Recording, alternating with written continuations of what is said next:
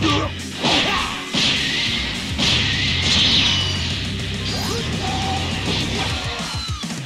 Get in my way!